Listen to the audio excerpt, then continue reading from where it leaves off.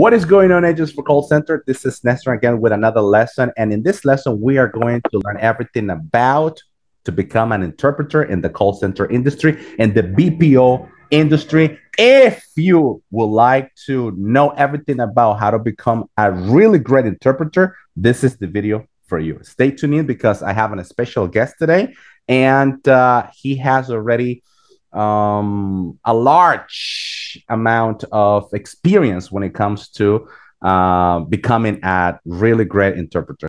Okay, I'm going to put you on hold for a moment. So I I um I just want to go ahead and get started, and I would like to introduce to you to Rafael. Good morning, Rafael. Um, how are you doing today? Hello, everyone. This is Rafael. I'm actually doing pretty well. Uh, thank you so much for this um, introduction. it's very nice. Um, I hope it's very useful and and very informative. Let's say for you Okay. guys. All right, fantastic. So we're gonna switch to Spanish now. Em, bueno, lo que vamos a hacer el día de hoy en esta clase, en esta lección, es de que vamos a hablar todo en referencia a cómo convertirse en un intérprete o en un traductor em, para lo que es el outsourcing de call centers, right? Para lo que es la industria del BPO en, en- en call centers. Ah, entonces, la primera pregunta que tengo para ti, Rafael, ya que tú eres el especialista en este tema, eh, ¿qué es la diferencia entre un intérprete y un traductor? Es divertido porque al principio uno piensa que ambas palabras son lo mismo, pero pues en el momento que uno empieza a de- desenvolverse en ambos, en ambos trabajos, encuentra pues, que hay algunas diferencias que hacen un cambio tremendo. Por ejemplo, los intérpretes se le dice a las personas que tienen interacciones personales. Es decir, ah, Néstor y yo podríamos estar hablando, yo podría estar diciendo lo que él, eh, sus palabras eh, en tiempo real. Eso me convertiría a mí en el intérprete. Ahora, la diferencia con el traductor es que usualmente se refiere a ellos como las personas que encuentran una información y la transfieren a otro idioma, ¿ya? No en tiempo real, sino que cosas gráficas. Por ejemplo, cuando ustedes miran el televisor y está una, un político hablando y hay una persona haciendo señas, esta persona es un intérprete, ¿ya? Y l- el otro lado, a mí me ha tocado hacerlo, por ejemplo, y que me prestan un documento legal, entonces yo les tengo que pedir, mire, deme tanto tiempo y yo le entrego el documento ya en el idioma que usted desea. En este caso sería español o bien inglés. Esa es la diferencia. El intérprete es más como persona a persona y el traductor sería más como algo gráfico, es decir, encontrar datos y ponerlos en otro idioma. Ok. Ah, podríamos decirse de que ah, cuando se hace entonces, para resumidas cuentas, cuando hay una conversación entre personas y viene una tercera persona y esa persona comienza a decirte a ti lo que ellos están hablando, eso sería un intérprete, ¿correcto?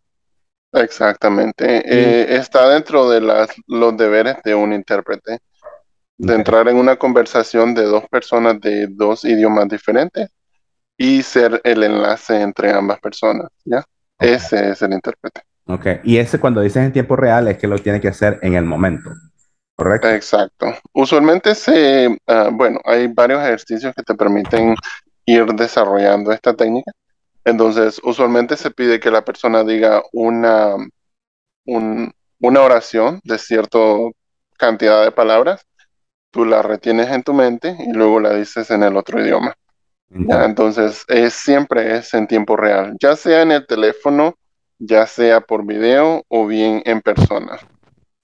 Perfecto, excelente. Muy bien. Ok, so chicos, ya saben cuál es la diferencia entre un intérprete y lo que es un traductor. Si tienen preguntas al respecto, solo déjenlo en los comentarios para darle seguimiento, ¿verdad? Ahora, la siguiente pregunta que te tengo, ah, Rafael, es la siguiente, ¿verdad? Mira, en, en lo que son el outsourcing de los call centers, ¿quién gana más o quién ganaría más económicamente hablando? ¿Ganaría más un intérprete, verdad? o la persona que trabaja como servicio al cliente?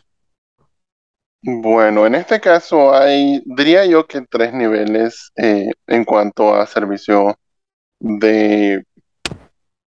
eh, bueno, en este caso tendría que decir, en, personalmente percibo que hay como tres niveles, ¿ya? Eh, en la parte más básica podría decirse que se encuentran las personas que hacen eh, customer service, ya que usualmente el vocabulario que ellos manejan, aunque usualmente es muy amplio, es bastante específico. Por ejemplo, si tú vas a una compañía, ellos te dicen, mira, este es nuestro vocabulario de servicio al cliente para vender tarjetas. Este es nuestro vocabulario de servicio al cliente para, no sé, hay muchos trabajos, en realidad no solo se limita a, a hacer tarjetas, para vender carros, para vender casas, ¿ya? Entonces, son muy específicos los escenarios. Ya, en el segundo se encuentra el intérprete, ya que sus escenarios son muy variados. Eh, usualmente te vienen y te dicen, mira, este es tu vocabulario, y aquí vas a tener doctores, enfermeros, especialistas, psicoterapeutas, eh, muchas personas, nutricionistas, eh, y entonces el rango de, de personas en los que hay es muy variado, ¿ya? Entonces, ese sería el segundo nivel. Y ya el tercer nivel, con un poco más de dificultad, no en cuanto al vocabulario, sino en cuanto a qué tan técnico es, ujú, estarían las personas de servicios ah, técnicos, ¿ya? ujú, Soporte técnico, ¿ya? No es porque su vocabulario, vocabulario sea inmenso, sino porque su vocabulario es muy específico. ujú, Por ejemplo, cuando llaman a una compañía de tecnología, entonces puede llamar no solo una persona que acaba de comprar una computadora, que tal vez no sabe cómo prenderla, sino puede llamar un ingeniero, un arquitecto. Ya, entonces usualmente estas personas están un poco más arriba por eso, por la dificultad de los términos que pueden dominar. Ya. Ok.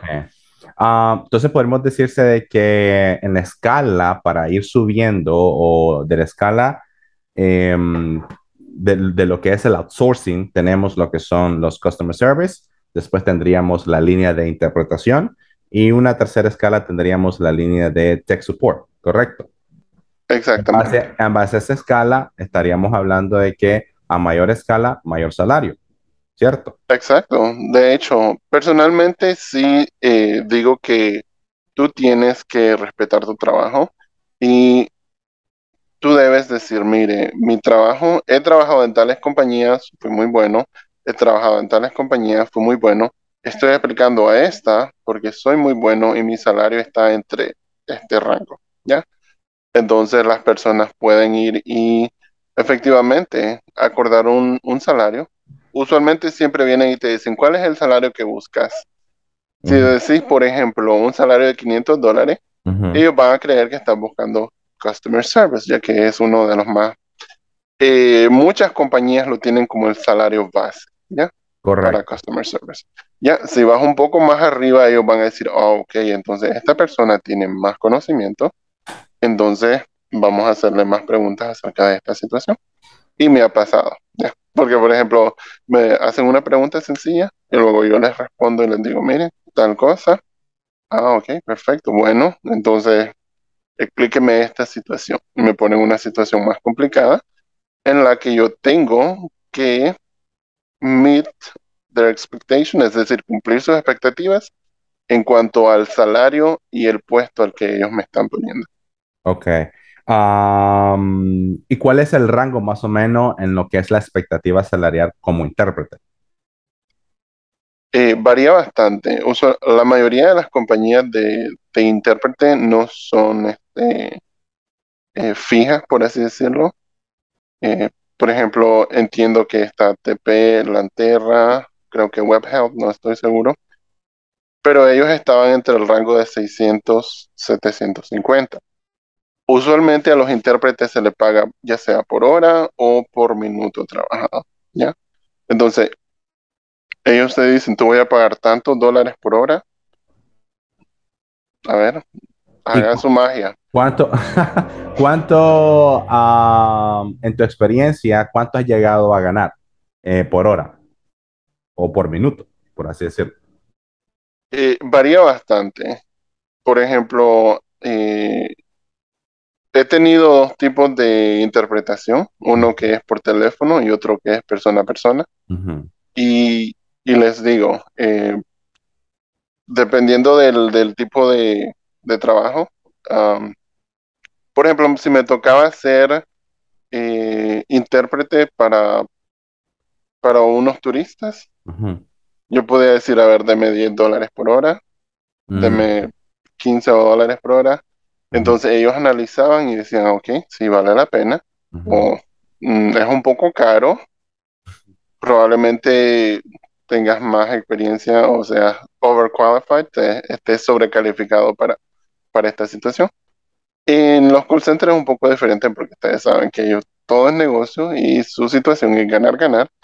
Entonces varía entre 3, 4, 5, varía mucho entre cada compañía. Eh, 3, 4, 5 hora. 3, Sí, dólares la hora, 4 dólares la hora o 5 dólares la hora. Ok. Sí. All right, perfecto. No, como habíamos hablado de minuto, entonces 3, 4, 5, 3 dólares por minuto está bueno. No, eso sería Ah. excelente.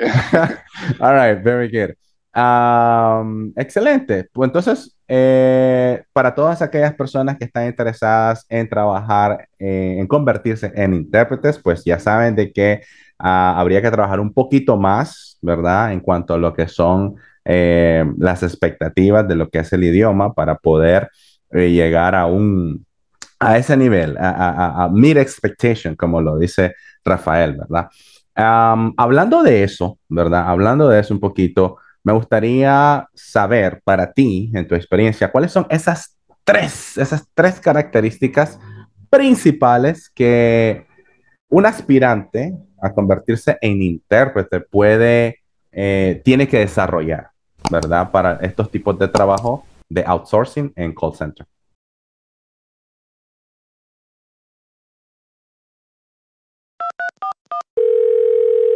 How may I help you? Yeah, I bought a product from you guys and it's broken, but it's still under warranty.